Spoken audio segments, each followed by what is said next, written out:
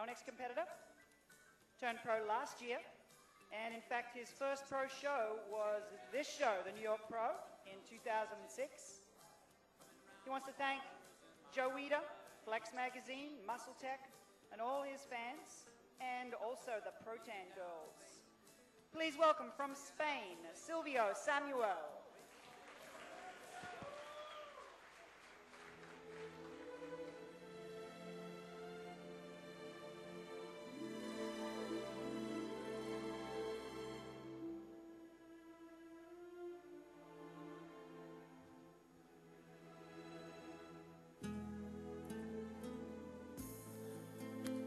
Competing in just his seventh professional contest. When the contest season started this year, the name Silvio Samuel was hardly a household word.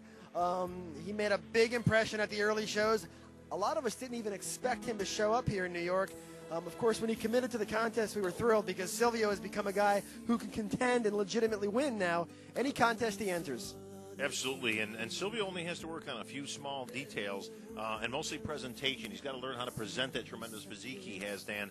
Uh, you can see his muscularity for his size is, is on par with anybody up there. Uh, very reminiscent of Sergio Oliva, which a lot of people uh, liken him to in his uh, physique development and, of course, in his facial features. Um, but you can see he's got, again, he's got a lot of muscle, but he's got to learn how to show that muscle off. That's half the art of pro bodybuilding. Well, earlier this year, Silvio joined the illustrious all-star team over at uh, Team Muscle Tech. He also signed a, an endorsement deal with uh, Weider Publications, so I know they're excited to welcome Silvio Samuel to their families.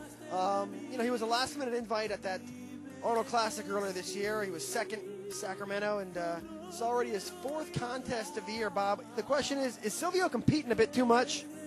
Uh, not necessarily. Some guys can, some guys can't. As most people know, uh, Milo Sarcev, who actually oversees Silvio's training, uh, his, uh, I think, is still a record in the IFBB with 72 uh, competitions, I believe. And he was one of those guys who can go out there and compete all the time, kind of like Tony Freeman earlier in the year. They can go show to show to show. Uh, Darren Charles also has perfected that art. Um, he stays pretty close to contest condition all year, so he can get away with it. Question is going to be, is it going to come into play when he goes into the big shows like the Olympia this year? Does it give you enough time to make improvements from one show to the next and then ultimately the big dance?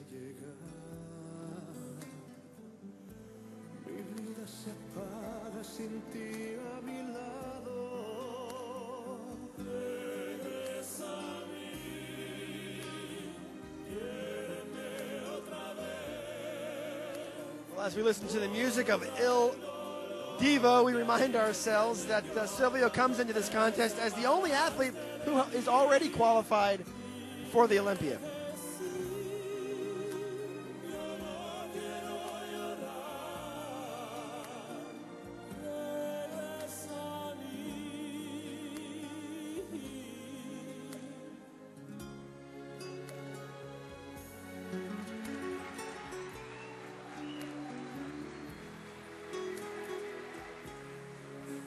Thank you, Silvio Samuel from Spain.